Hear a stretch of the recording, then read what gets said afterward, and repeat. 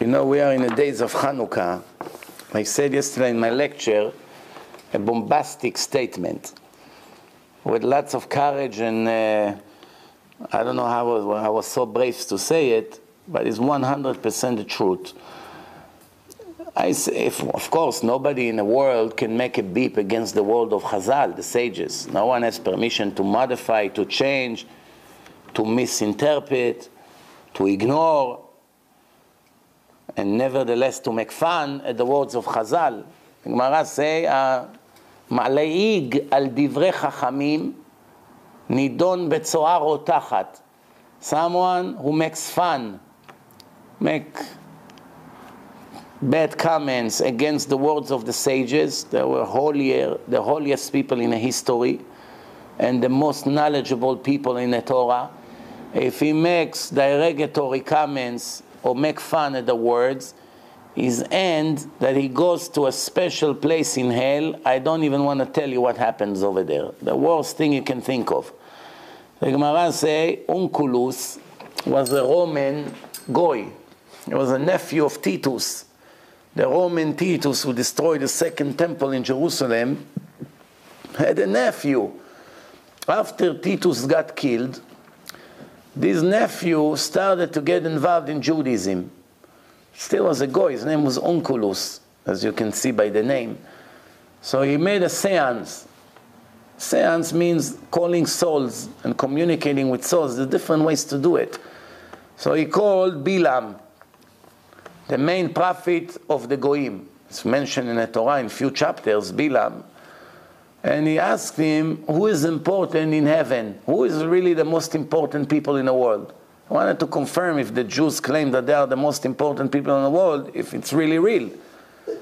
So Bilam told him, the nation of Israel is the most important nation in the world. So he asked him, what should I do? Should I stick to them? Should I convert?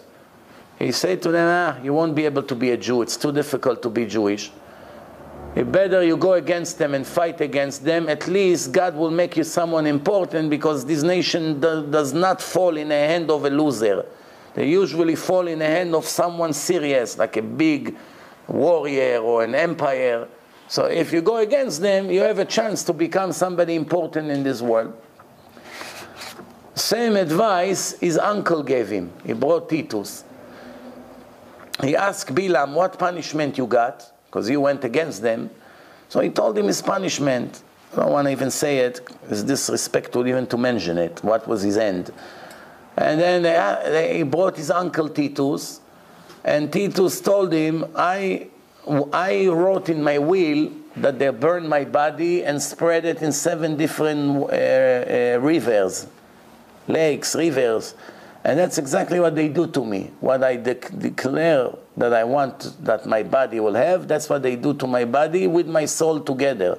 They burn me, I take my ashes, they spread it all over, which is horrible suffering. They collect now everything back into a body. Every day they burn me like this. This is my punishment. So I asked him, What should I do? Should I convert? He said to him, If you could become a Jew, maybe, but now you're not going to be able to. So you, the same advice like Bilami gave him. Then he called JC. JC. JC came, but JC died a Jew. He never started Christianity, like some people think. Christianity started between 70 and 200 years after he died. There's different opinions, but minimum 70 years after he died, which is already three generations right there which means the people who started Christianity never even saw his face. That's why I always wonder why they make this hippie face with the hair. then nobody ever saw how he looks. If he, nobody even know if he existed. Could be a bunch of fairy tales. There's no testimony that JC even existed. I know what you want to say. You want to say, why? But it's in Gemara. Right? That's what you wanted to say. So it's not in, the Gemara speaking about different JC. He lived 150 years in a different date. Most people don't pay attention. The Gemara speaks about someone wicked and his name was Yeshua, Yud Shin Vav Ain. the real name we call him Yud Shin Vav, which is abbreviation of Imach Shemo Vezichro. But the Gemara speaks about one like that with his name. That was uh, he went with his rabbi, Rabbi Yoshua ben Farchia, and he said to him, Rabbi, look what gorgeous women standing out there.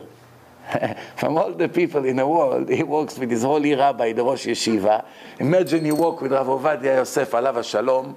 You walk in Yerushalayim, in the streets next to the Western Wall there in the old city, and then you see a bunch of beautiful lady standing there in the side. Say, Rabbi, Rabbi, come, come. Look what gorgeous women out there. not, no. Wait for tomorrow when you're with one of your friends. Rabbi, come, come. So the rabbi said, Oh, yeah? You cannot come tomorrow to the yeshiva. He kicked him out of the yeshiva. And uh, then later he came to, uh, to apologize, and the rabbi was in the middle of the prayer, so he could not speak to him, got angry, thought he's ignoring him, and he went and rebelled against the rabbis. So based on that, some people wanted to say the Chachamim spoke about JC, JC from Christianity.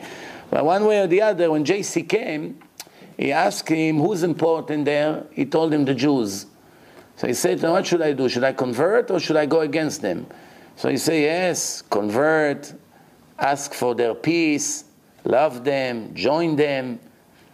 So he said to him, but you, what was your end in heaven? What was your verdict?